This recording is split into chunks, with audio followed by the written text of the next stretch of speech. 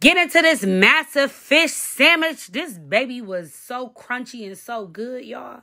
Got me perfectly beautiful thick cuts of cod.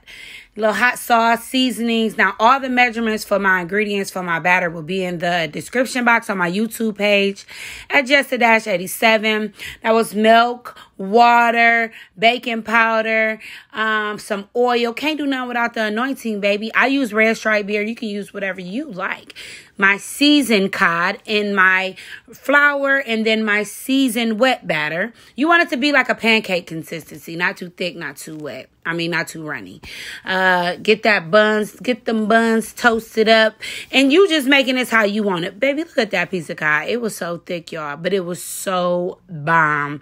Spread that tartar sauce a little. Yeah, I can barely fit it in my mouth, but baby got a big mouth, so you know I made it work, and it was slap city.